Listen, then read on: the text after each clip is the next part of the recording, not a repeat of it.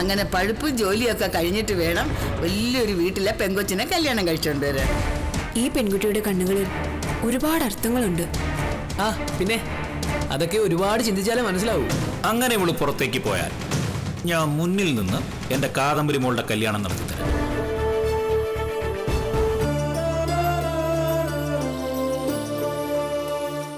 സമയ